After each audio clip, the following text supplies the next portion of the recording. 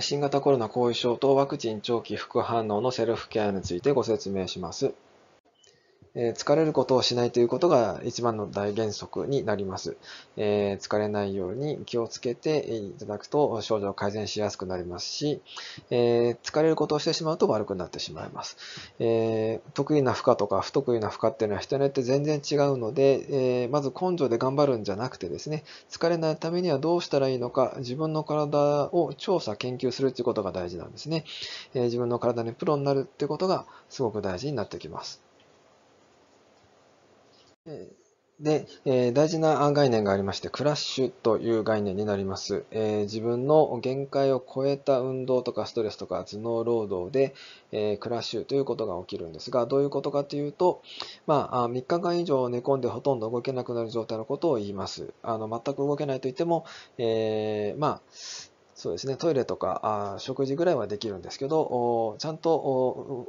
まあ、例えば日常生活の動作をしたりってことがほぼできなくなる。疲れてとか、あるいは体が鉛のように重くて動けないという状態が続くことを、えー、クラッシュと言いますね。3日間以上寝込んでしまった時のことを、えー、クラッシュと言います。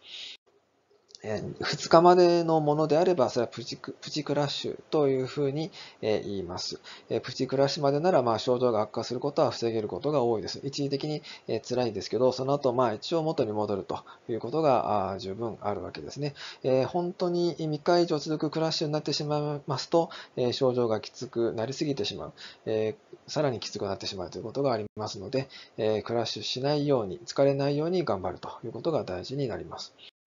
負荷の増やし方ですけれども、治療で改善したらですね、このくらいであればだるくならないだろうという課題を設定して2週間継続。だるくならなかったら少し負荷を減らすという感じで繰り返していきます。余裕感が非常に強い場合ですね、まだまだ余裕だぞという感じが強いときは、もう少し2週間も待たずに、もう少し早めていただいても大丈夫かと思います。で負荷を増やしていった時の注意事項ですけど、えー、危ないというふうに感じたらすぐに横になって休んでいただくということが大事ですね。それによって、えー、害を限りなく少なくすることができます。で、よくあるのがですね、調子がいい日に負荷を一気に増やしてしまって悪くしてしまうというケースですね。これは非常によくある間違いなんですが、そういうことをしないように、調子が良くても、えー、あんまりこう負荷を一気に増やすようなことはせずに、え無理をしないっていう、疲れないようにするっていうのを大原則にして、え頑張っていただくと。え無理をすると、その時一瞬良くてもですね、その後また調子を崩してしまうことがすごく多いんですね。えちょっと調子のいい時と悪い時の波が激しいっていう人は、大体調子がいい時に動きすぎてる人が多いので、そういうことがないように気をつけてください。えー、調子が良くなってきた時こそ、あの、調子に乗らないっていうことがすごく大事ですね。えー、そういう時は、あ調子良くなってきたなと思ったら、これを維持しようっていう意識で頑張っていただくといいと思います。で、散歩とか、そういった屋外の運動はですね、えー、大体危ないんですよね。調子悪くなった後、またお家に帰るまで動かなきゃいけないので、えー、できれば屋外の運動は、まあ、えー、PS0 から3のところまで良くなってからにしてください。えー、症状の一時的な改善方法ですけれども、えー、BCAA ですね、アミノバイタルとかアミノバリューとか、まあ、そういった製品名になりますが、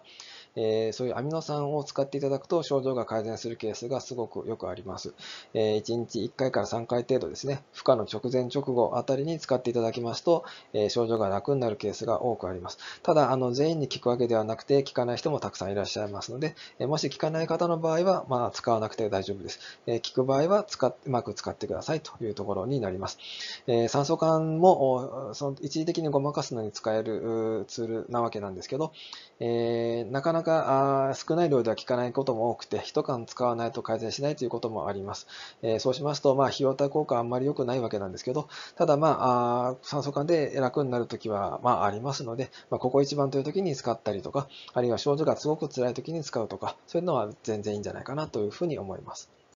でどうしても動かなければいけない時というのがあると思います。え事前に動かなきゃいけない日が分かっているようであればですね、まあ、前後の日を休息日にしてしっかり休むというところが大事かなと思います。で動く日はですね、BCAA をいつもより多く飲むっていうのも一つの対策として、えいいんじゃないかなと思います。あ BCA が効かない人は、まあ、あんまり意味がないんですが、BCA が効きやすいというタイプの方は、ぜひ動く日はいつもより BCA を多く飲むといいんじゃないかなと思います。まあ、限界値はだいたい1日まあ、1万ミリグラムぐらいまで、まあ、どうしてもという時には1万6000まで飲んでいただく場合もありますが、基本的には1万まで。通常の、えー、服用量はまあ6000とか7000ぐらいにしておいていただきたいんですが、えー、まあ、そういう時だけ、きつい時だけちょっと多めに飲むっていうのはあってもいいかなというふうに思います。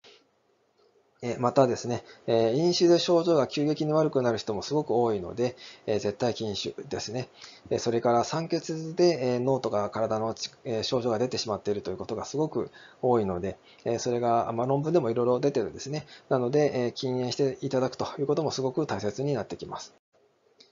それから亜鉛がですね、採血で低いとき、まあ、80未満のときには亜鉛を補充することになります。亜鉛入りの胃薬とか市販のサプリとかそういったものを使っていきます。え、脱毛とか嗅覚味覚障害とか、あとは倦怠感とか、そのあたりが改善する可能性が十分にあるということになります。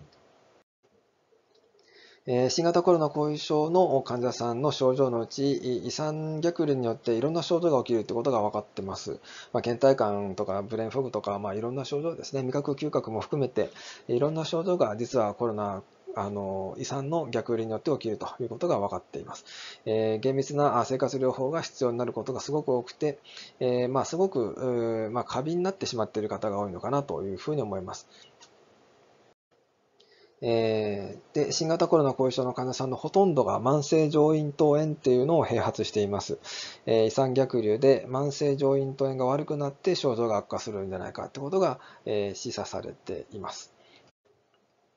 で、えー、胃酸逆流を防ぐためにはですね、えー、まず寝る前1時間水飲まないということと、寝る前3時間できれば物を食べないということが大事になってきます。えー、で方法の一つとしては、敷布団の下に毛布などを入れるか、あるいはなだらか枕っていう製品があるので、そういったものを使って上半身を少し持ち上げるということが一つの対策になってきます。えその他ですね、避けるものとしては油物、甘いもの、炭酸、カフェインあたりですね、まあ、コーヒー、緑茶、紅茶、ほうじ茶なんかは全部ダメと。まあ、どうしてもという場合はカフェインレスのものを使っていただくと、え、多少ダメージが少なくなりますので、そういうのをうまく使っていただくのも一つの手かもしれません。あと、ストレスも胃酸逆流の原因になりますし、お腹に圧をかけるような動きというのも、えー、胃酸逆流の原因になってしまいます。で、えー、まあ、辛い時ですね、特にこれ PS、まあ、6789の方が、えー、使っていただくといいかなと思うんですけれども、えー、インフィニティチェアという椅子がありまして、そういったものを使いますと、えー、楽に、えー、維持できるというか、え症状が出にくくはなります。なので、そういったものを使っていただくのも一つの手だろうと思います。えー、ただ、これだけ、これに乗っていたら治るということでもなくてですね、えまあ、これに乗って少し回復したらまたあ疲れない範囲で動くということが大事になります。まあ、PS9 になってしまいますと、え動くといってもほとんど、あの厳しい時が多いので、うん、少し良くなるまで待つってことも大事になってきますけれども、えー、まあ、ただそれでも、え少しずつ体を動かしていって、え呼吸を意識すると。あんまり深くやってしまいますと、また悪くなってしまいますので、深い呼吸をしすぎなくていいんですけれども、えー、PSQ の方であればですね、えー、まあ、ちょっとずつ体をも動かしていって、えー、まあ、あの硬くなる関節が固まってしまったりすることを防ぐということも一つ大事になってくるかなと思います。え PS678 の方であれば、えもうちょっと動けるかなと思いますんでね、えまあ、呼吸を疲れない範囲で少し深くしていただくとか、そういったことも必要になってくるケースが多いかなと思います。で、背中はまっすぐにしてお尻がずれていかない形っていうのがこのインフィニティチェアの特徴になりますね。で、えー、こういったあのなだらかな形ですと背中が丸くなってお腹に圧がかかって胃酸が上がってきてしまいますのでやはりあのお尻がずれていかないってことが大事になってきます。えー、あとはその真横になってしまうということも、えー、特に食直後ですと胃に物が入ってった状態ですので、えー、胃酸とともに食べ物が上がってきてしまうということになります。なので、えー、まあまあ、こうしないと疲れてしまうという場合は仕方がないんですけれども、そうでなければ、あこういった姿勢を避けるということが大事かなと思います。またこういった形ですね、えお腹に圧がかかるような姿勢ですね、そういった形になりますと、お胃酸が上がってきてしまいますので、お腹に圧がかからないように意識していただくといいんじゃないかなと思います。その他、鼻うがいですね、すごく大事になってきます。鼻のアデカシャワーとかサイナスリンスとか、そういったものを使っていただくといいかなと思います。ま1日2回か、できたら3回やっていただくと、症状の改善がしやすいです。で、ただ注意、注意事項としてはですね、中耳炎とか誤炎のリスクがある方は、ちょっと鼻うがいは避けた方がいいでしょうと。そういったケースではですね、あの、まあ、えサイナスミストとか、そういったあの蒸気を出すような製品を使っていただいて、えー、まあ、鼻うがいまではいかないんだけど、え少し洗うような効果があるものを使うということも一つ、いい方法かもしれません。えで、もしやる場合もですね、優しくゆっくり行う必要があります。勢いよくやってしまいますと、え耳の方に水がいってしまって中耳炎になってしまうリスクがあります。え慣れないうちは入れた鼻から出すっていうのでも大丈夫です。慣れてきたら反対側から出せるようになってきます。えで、片方からしか通らなければ、そちらからだけでも OK です。えー、まあ、例えば左から右には通るけど、右から左は通らないという場合は、左からだけやっていただければ大丈夫です。えー、鼻うがいについてですが、反対側の鼻から出すのでも、えー、口から出すのでも、え、どちらでも大丈夫だと思います。まあ、できる方でいいかと思います。まあ、両方から出るのが一番いいようにも思いますが、まあ、おそらくそれほど変わらないかなというのが正直なところかなと思います。えー、鼻うがいに入れるものですけれども、えーまあ、普段使っている蛇口からのぬるま湯で、えー、1、2%の塩ですね、えー、を使っていただくのがいいと思います。焼き塩がおすすめですね。すぐ溶けますんでね。で、サイナスリンスであれば小さじ半分くらい、でやっていただきますとちょうどいいくらいかなと思います。こういうのがめんどくさい方はぜひリフィールというものを使っていただくといいと思いますね。パッケージになっていて、えまあ、測る必要もなくて便利かなと思います。で、上咽頭擦過療法という治療があります。これが非常にまた効きやすい治療になります。すべての方に効くということではないですが、非常に有効率が高いというふうに考えられます。え、まあ、略称は EAT とか B スポット療法と言われています。え、全部の耳鼻科でやってるわけではなくて、え、まあ、大体5%ちょっとぐらいの耳鼻科さんでやっていただいているという形になりますが、最近やってくださる耳鼻科がだんだん増えてきているということも分かってきています。なので、ぜひ近所の耳鼻科さんに電話して、やってますかと聞いていただくのがいいかなと思います。できれば週に1、2回受けていただくといいと思いますが、PS7 から9の方は、まあ、その通院で疲れてしまうリスクがありますので、まあ、PS6 より良くなってからということになります。えー、呼吸筋のストレッチも非常に大事でして、1日1回、まあ、5分から15分と書いてあります。ちょっと症状が重い方はですね、まあ、3分とかでもいいと思います。あるいは1分っていう人もいらっしゃいます。あの短い時間から徐々に増やしていくといいんじゃないかなと思います。えー、PS0 から6の方は、まあ、ストレッチポールのようなものに、えー、乗って深呼吸をするだけ。えー、PS7 から8の方は、まあ、タオルケットを細く棒状に巻いて、その上に乗っかって、え呼吸をしていただくということになります。え PS9 の方は、まあ、しない方がいいと思います。というか、ほぼ皆さんできないと思いますので、え無理はなさらないようにしてください。えまた、その他の方々でもですね、疲れるようだったらやらなくて大丈夫です。それから呼吸リハビリですね。細切れで1日何回も行っていただきます。何十回でも大丈夫です。あの、一通り全部通してやる必要は全然なくてですね、え、その呼吸リハのメニューをちょっと覚えておいて、え、今、じゃあこの、この姿勢だったらあれができるからこれやってみようとかそういう感じで、え、細切れで何回も何回もやっていただくというのがいいと思います。え、とにかく一番大事なことは疲れないようにするということになります。で、自分に合わないなと思うメニューはしないようにしてください。さい。で詳しくはですね、longcovid.jp の中でその動画がありますので、そちらを見るようにしてください。それから緩める瞑想というのがあります。高ぶった交感神経を緩めることで症状を改善していくという形になります。不眠に効く人も多いです。また、その他の症状もですね、結構緩める瞑想で改善するということはよくありますので、ぜひ試してみてください。ただ、その合わない人も中にはいらっしゃるので、合わない場合は無理にやらなくて大丈夫です。詳しくは longcovid.jp の中に音声で用意してあります。動画はありません。あの音声で流れるようになってますので、そちらを見ていただければと思います。それからセルフ頭皮心ですね。あの頭の方に刺激を入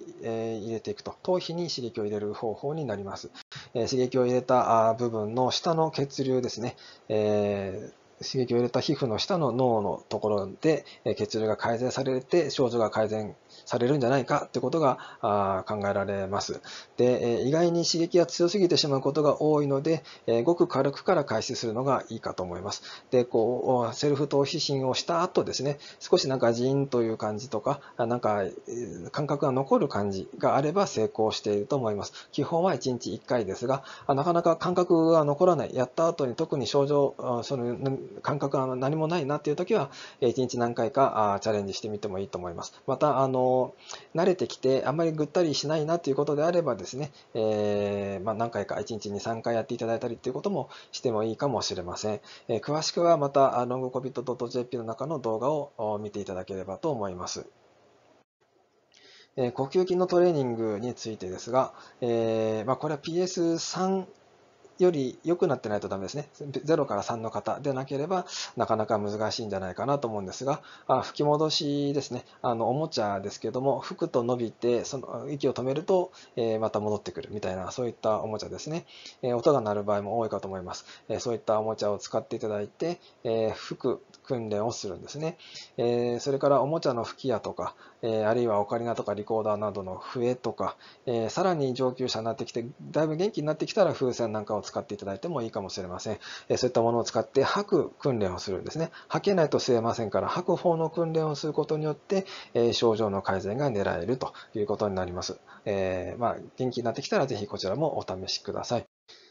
であと、あゆうべ体操ですね、えー、口周りの筋肉を鍛えて、口呼吸から鼻呼吸に切り替えるということで、えー、上咽頭炎を改善することができます。えー、誤嚥予防にもなりますし、え非常にいい体操ということになります。YouTube で検索するか、ロングコビット .jp の中にもリンクが貼ってありますので、そちらを見ていただけたらというふうに思います。マッサージ機もすごく有用なことがあります。えー、大体皆さん肩周りとか背骨の横の筋肉がすごく凝っているので、そちらに当ててあげるということがいいかなと思います。えー、代表的なところとしては、まあ、マッサージガンとかですね、あるいはもう少しこう振動するようなあ軽いマッサージ機とかでもいいと思うんです。あんまり強いものですと逆効果になることがありますので気をつけてください。で、またそのマッサージ機をですね、強く押し付けると症状が重くなることがあります。軽く当てるにとどめるということが大事になります。また、あの、やりすぎてしまうと逆効果になることもありますので、やりすぎに注意してください。どのくらいやったらいいかっていうのは、あ人によって違います。なので、えー、まあ、人に応じて違うんだってことを頭に入れつつ、えー、自分に合った量で当てると。で、それもやりすぎないように気をつけるということに、えー、気をつけてください。それから、あ疲れた筋肉ですね。あの、何か動いた後、少し疲れてしまったなという筋肉があれば、あるいは張った筋肉があれば、そこに軽く当てておくと、もしかしたら、あそその後の症状の悪化を予防できるかもしれません。えー、軽く当ててみるといい場合がありますのでお試しください。ご清聴ありがとうございました。